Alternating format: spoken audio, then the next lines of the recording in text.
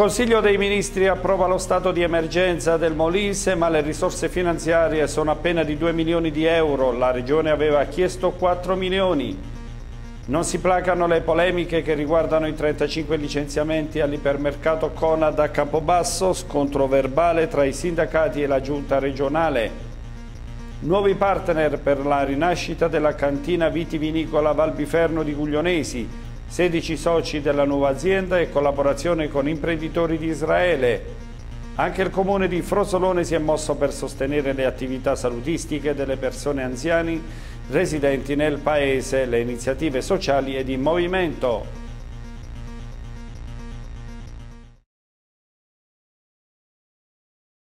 Buon pomeriggio gentili telespettatori, emergenza Molise, terremoti, dissesto del territorio, alluvioni e la pesante condizione della viabilità interna. Questi gli argomenti dibattuti stamane a Guglionesi in un incontro promosso dal sindacato CGL e che ha visto la presenza di numerosi amministratori delle aree del Basso Molise interessate dagli ultimi eventi tellurici di metà agosto. Un confronto voluto per spronare le istituzioni locali e nazionali ad attivarsi in materia di prevenzione e messa in sicurezza. Il Consiglio dei Ministri accoglie la richiesta sullo stato di emergenza in Molise a causa degli ultimi eventi sismici, ma dimezza la dotazione finanziaria a disposizione. Vediamo il contributo. La Regione, attraverso il suo presidente Donato Toma, aveva chiesto al governo Conte di dichiarare lo stato di emergenza per i recenti eventi sismici che hanno colpito alcuni comuni del Basso Molise e mettere a disposizione una somma adeguata a sostegno delle persone e delle strutture colpite. La somma richiesta era di 4 milioni di euro, che però è stata esattamente dimezzata dal Consiglio dei Ministri, che ha riconosciuto lo stato di emergenza in Molise. 2 milioni di euro perciò per poter operare da subito per completare l'assistenza alle popolazioni, quell'assistenza già celermente avviata dai primi momenti di criticità e che riguarda la sistemazione provvisoria nelle tente, ma che oggi dovrà, per forza di cose, estendersi alla messa a punto di alloggi veri e propri, sistemazioni adeguate che portino le persone fuori dalle tente. Intanto le risorse messe a disposizione sembrano davvero poche, soprattutto in seguito alle dichiarazioni ascoltate nei giorni caldi dello sciame sismico e devono essere sembrate poche anche al presidente Toma che ha così dichiarato Procederemo in parallelo alla messa in sicurezza delle strutture pubbliche, operazione questa che potrebbe prevedere anche l'abbattimento di immobili. Daremo inoltre priorità assoluta a quelle scuole che hanno subito danni dal terremoto, visto anche l'approssimarsi del nuovo anno scolastico. Però anche chiarisce che il riconoscimento dello stato di emergenza riguarda l'assistenza alle popolazioni e la messa in sicurezza delle strutture pubbliche. È chiaro, afferma ancora con determinazione, che siamo solo all'inizio di un iter più complesso che porterà la Regione Molise a chiedere ulteriori finanziamenti a sostegno dell'edilizia privata danneggiata dall'evento sismico. A questo punto non ci rimane che sperare in un'attenzione maggiore per il territorio molisano e le persone che comunque sono oggi in sofferenza, mettendo alla prova tutti quegli uomini oggi al governo del Paese che nell'ultima campagna elettorale hanno affermato di sentirsi essi stessi tutti un po' molisani.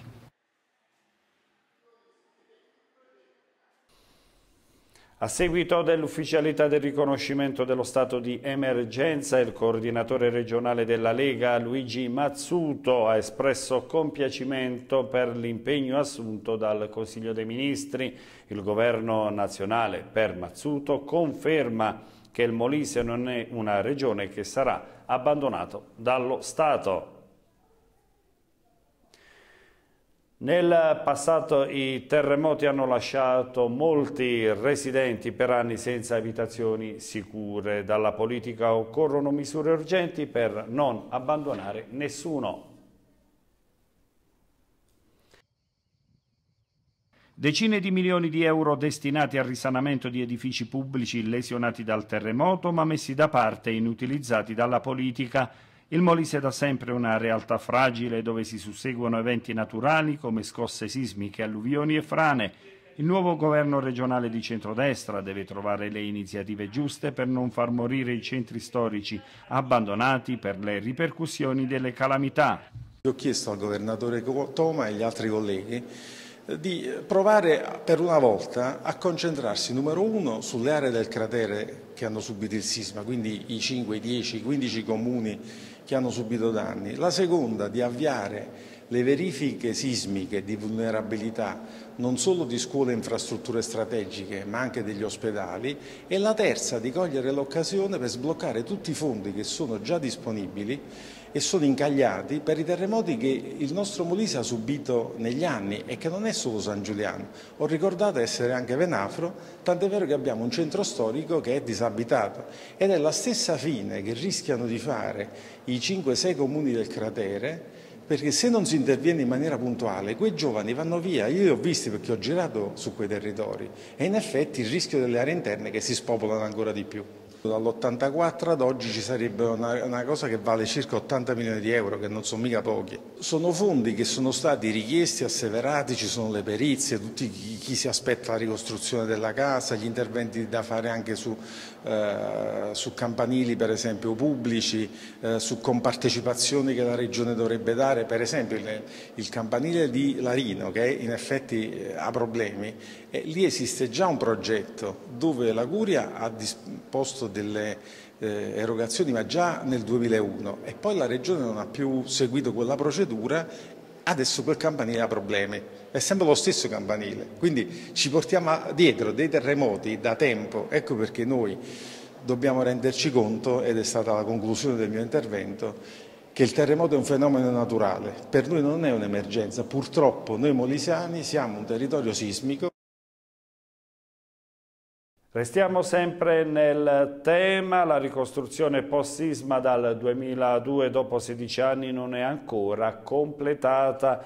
In tale scenario un nuovo possibile ampliamento dei benefici legati allo stato di emergenza avrebbe come conseguenza il ripetersi di errori già commessi nel passato. Vediamo. Mentre si resta in attesa del riconoscimento dello stato di emergenza per il sisma che a metà agosto ha colpito il medio-basso Molise, sono ancora tante le problematiche aperte sul territorio a causa della cattiva gestione della ricostruzione legata al terremoto del 2002. L'allargamento del cratere anche a realtà nelle quali il terremoto non ha prodotto danni ha causato delle vere e proprie distorsioni che hanno finito per penalizzare proprio le zone più colpite dal sisma, dove ancora la ricostruzione non è stata completata e ci sono cittadini che, avendo subito danni rilevanti alle loro abitazioni, sono in attesa dopo 16 anni dei finanziamenti dovuti per la ricostruzione o messa in sicurezza delle abitazioni.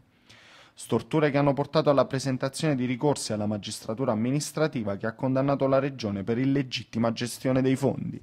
Una delle nostre eh, prospettazioni all'interno del ricorso, che poi ha trovato conferma a livello storico proprio di recente, con i più recenti eventi sismici, partiva da un presupposto, cioè si diceva eh, la, il sisma non ha prodotto uguali danni dappertutto, lo si è avvertito anche probabilmente in realtà molto più distanti, non, non a caso lo si è avvertito anche a Campobasso, a Isernia, comuni della Fondovalle del Trigno, di sicuro però i comuni del cratere sono stati più danneggiati e più esposti al rischio sismico. Pertanto se un criterio andava fissato per l'assegnazione delle risorse non poteva prescindere dal riconoscimento di una doverosa priorità ai comuni del cratere, che erano quelli che avevano avuto, per la vicinanza chiaramente al cratere sismico, più danni per il terremoto e che risultavano più vulnerabili che è quello che si sta verificando in questi giorni, perché proprio la eh, diciamo, zona sensibile più colpita dal terremoto risulta quella del Basso Molise, ma eh, diciamo, si prospetta questo allungamento della faglia dalla zona eh, di San Giuliano fino alla zona di Larino e Guglionesi, quindi i comuni più colpiti sono questi. E allora il parametro che noi ponevamo come parametro di rimente era se le risorse non sono illimitate, ma sono limitate in un momento di finanza pubblica anche abbastanza contratta, in base a quali motivi queste risorse sono andate a finanziare interventi lontani decine se non centinaia di chilometri dal sisma, mentre sono stati posposti, cioè rimasti probabilmente senza risorse e senza la possibilità alcuna di intervento, comuni che erano i più esposti, cioè tipo il comune di eh, Larino, che in questo caso le cui popolazioni e le cui unità minime di intervento erano quelle che venivano patrocinate nel nostro ricorso. Possiamo dedurre quindi che gli errori fatti nel passato possono servire da lezione anche per non ripeterli nuovamente. Mi riferisco al sisma di metà agosto. Beh, il problema è uno che eh, purtroppo se l'errore viene eh, tamponato per tempo, le risorse si recuperano e si riutilizzano meglio, ma se le risorse sono state già spese per interventi che sono stati già completati e sono purtroppo esaurite, ci troviamo di fronte ad una situazione dove il danno è evidente, perché i comuni che ancora oggi tremano restano, tra virgolette, senza possibilità alcuna di interventi e comuni che probabilmente hanno percepito in modo molto labile il terremoto si sono visti assegnare delle risorse probabilmente impropriamente se non illegittimamente. E cambiamo argomento, la consigliera regionale del centrodestra Paola Matteo sta partecipando a Trento al confronto nazionale sul tema delle molestie sul lavoro. Paola Matteo ha presentato la proposta di legge quadro contro ogni forma di discriminazione per l'affermazione dell'uguaglianza. La proposta si fonda su tematiche che vanno dalla violenza alla medicina di genere, dalla democrazia paritaria alla cultura di genere. Una avvertenza delicata quella che riguarda i licenziamenti all'ipermercato Conad della struttura commerciale Il Centro del Molise. Un botte risposta tra sindacati e il governo di centrodestra che mostra un conflitto e non avvicina la soluzione positiva. I dirigenti delle categorie del commercio di CGL e WIL lamentano una certa disattenzione da parte delle figure istituzionali a sostegno delle ragioni dei lavoratori licenziati dalla società che gestisce l'ipermercato Conad all'interno della struttura commerciale Il Centro del Molise di Campobasso. Una vertenza di fatto molto delicata, ma anche significativa di uno stato di difficoltà all'interno di un comparto che finora sembrava fosse privo di ripercussioni critiche. A stretto giro di nota, il presidente Toma interviene a bacchettare i sindacalisti, affermando che la sua assenza e quella dell'assessore regionale al lavoro Luigi Mazzuto sono dovute alla norma che vuole un tavolo di gestione della crisi aziendale convocato dal competente dipartimento regionale e che sia un fatto tecnico, al quale non fosse prevista la presenza di presidente ed assessore.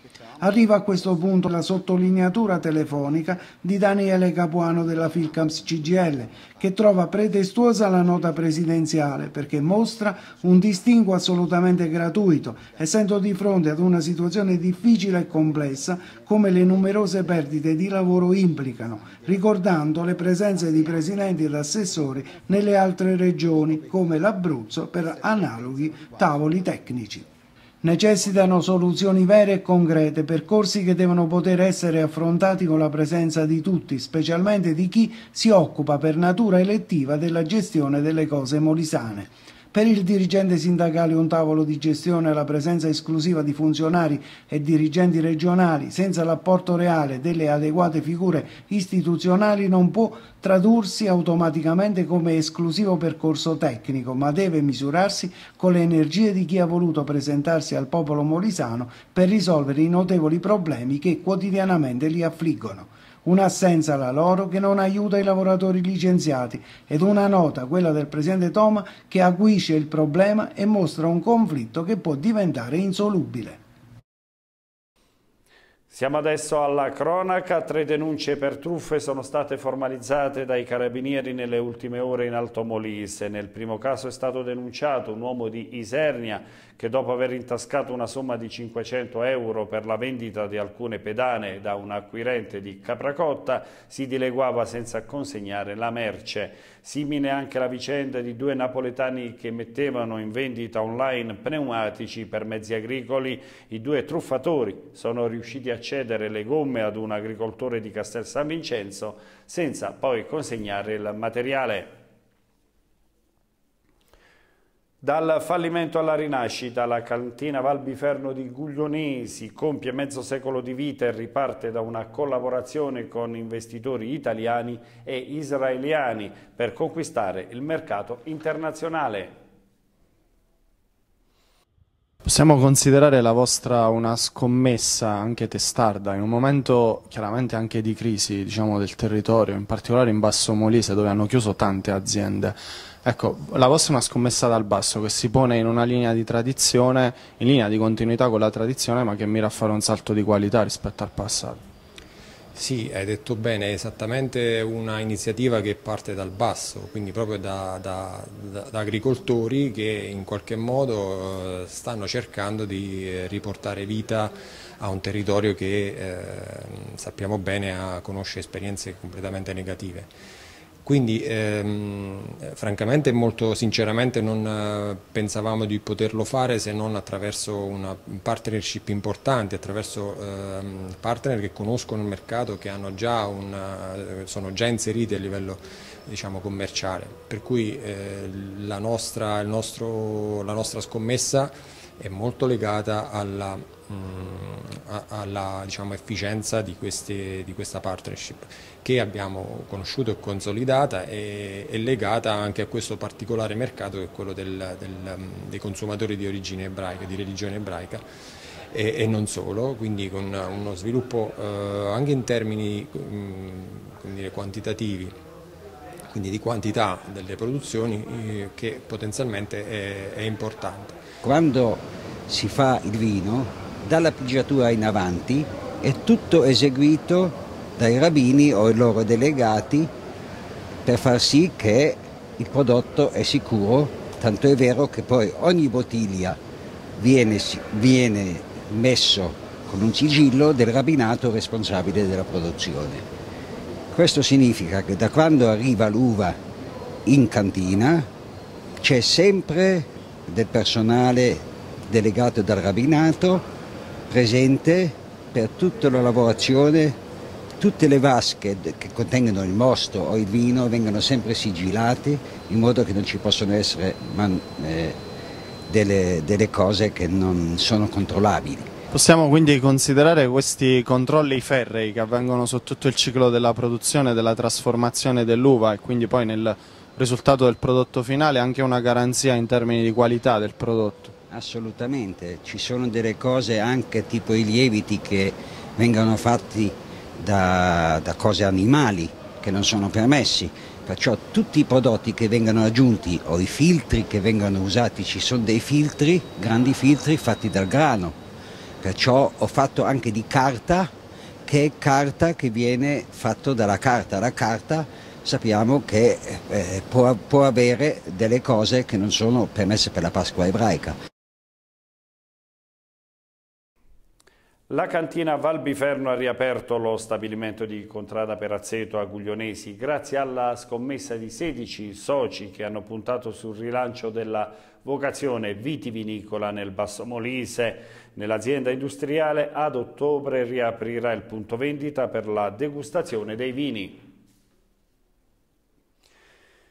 Invecchiare attivamente attraverso attività salutistiche, sociali e culturali, questo è il pensiero dell'amministrazione comunale di Frosolone che ha aperto le porte in paese al nuovo circolo Auser. Vediamo. La percentuale di persone anziane cresce sempre di più in Molise. Sono soprattutto i piccoli centri di montagna quelli dove risiede il maggior numero di ultra 65 anni. I circoli Auser in Molise sono impegnati a creare le migliori condizioni di vivibilità per i pensionati, ma anche per i giovani. L'Auser con la loro attività nei confronti degli anziani, del, diciamo della persona, viene un po' a arricchire tutta l'attività sociale che l'amministrazione sta portando avanti in questi anni. Frosolone ovviamente come direi tutto il meridione, insomma c'è una, una fascia anziana molto, molto vasta, eh, per fortuna ci sono anche i giovani, ci sono anche la, la fascia che lavora, ma sicuramente diciamo, nella composizione sociale eh, l'anzianità ha il suo valore, quindi bisogna dare attenzione a questi nostri anziani, che poi anch'io faccio parte di questa, di questa categoria, eh, dargli attenzione nel senso di, di, delle attività sociali, del, delle attività per la salute. Sostanzialmente con l'Auser noi vogliamo portare avanti un progetto di invecchiamento attivo della popolazione di Frosolone e spero che vengano coinvolti molti cittadini in questa iniziativa. Molto spesso diciamo, le aspettative dei cittadini è quella per so, un intervento per una luce, per il marciapiede, per un'opera di questo tipo, però per tenere viva una comunità occorre fare delle politiche sociali cioè molta attenzione diciamo, eh, a, a, queste fasce della popolazione, non solo anziana ma anche i giovani, eccetera, perché tutto questo, la socialità praticamente fa vivere una comunità. Avere costantemente corpo e mente allenati migliora la qualità della vita di tutti, soprattutto con l'avanzare degli anni. La viabilità tra i paesi delle aree interne di montagna è fatiscente per l'assenza molto spesso di investimenti economici e manutenzione ordinaria. Le problematiche delle comunicazioni in Alto Molise le criticità strutturali del viadotto Sente saranno al centro di un vertice istituzionale martedì 11 al municipio di Agnone.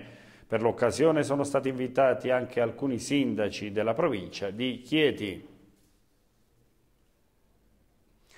E partiranno oggi nel tardo pomeriggio a Campobasso le iniziative della quinta edizione di Vivi la tua città 2018. Numerosi gli appuntamenti culturali, musicali e della tradizione. Giunge alla quinta edizione la manifestazione Vivi la tua città 2018 che per tre giorni da questo pomeriggio e fino a domenica porta a Campobasso tutta una serie di eventi ed iniziative che cercano il coinvolgimento dei cittadini. Le proposte sono tutte previste nei vari luoghi simbolo della città, il corso principale, Piazza della Vittoria, la Piazzetta Palombo, via Elena, via Gazzani, via Roma e via Pietrunti, il Largo San Leonardo, Piazza Pepe e via Ferrari, tutte perfettamente inerenti alle tematiche culturali, musicali e della tradizione, senza tralasciare l'eccellenza enogastronomica del territorio. Tra le presenze significative quella della Polifonica Monforte che continua senza sosta nella diffusione e valorizzazione del patrimonio culturale e musicale di Campobasso e dintorni. La Polifonica Monforte quest'anno presenta la novità tra virgolette del carro dell'uva eh, per ricordare il simbolo per ricordare la nostra festa dell'uva.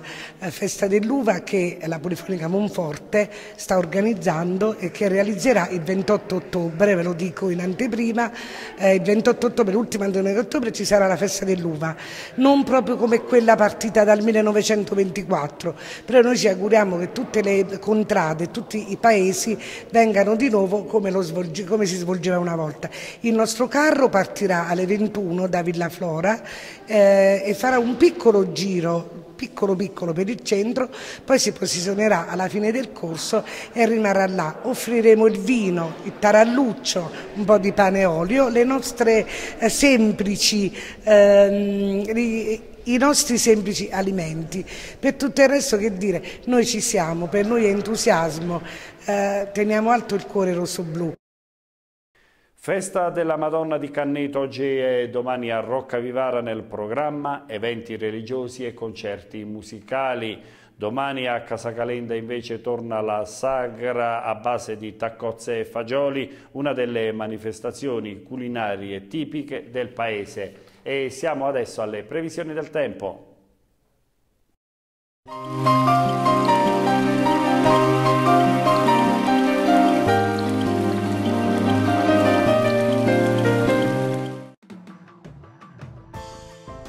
Accentuazione dei corpi nuvolosi nella giornata di oggi sul Molise, con temporali diffusi nelle zone interne. Le temperature odierne sono comprese tra i 17 gradi di Campobasso e la massima di 27 a Termoli. Quasi calmo il medio Adriatico, ventilazione variabile. Soleggiato il cielo domattina sulla regione, valori climatici in flessione, venti da nord.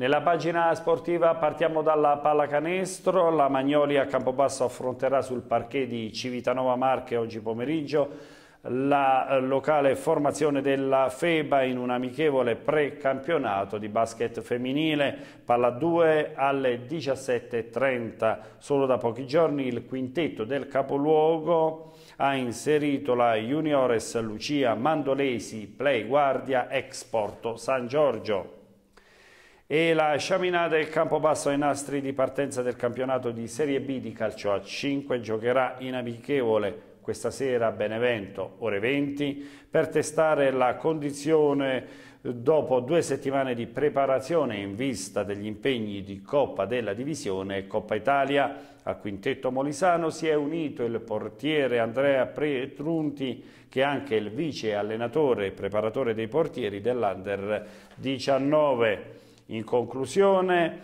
nella serata di oggi ad Agnone ci sarà la presentazione della Rosa dell'Olimpia in vista della stagione calcistica in Serie D che inizierà domenica 16. L'evento sportivo rientra nei festeggiamenti della Madonna della Libera. L'appuntamento è stato inserito per comprendere gli obiettivi dei Granata fissati dalla dirigenza dell'Agnonese. A seguire il concerto musicale di Gio Valeriani. Con questa notizia è veramente tutto, grazie dell'attenzione, a risentirci a questa sera.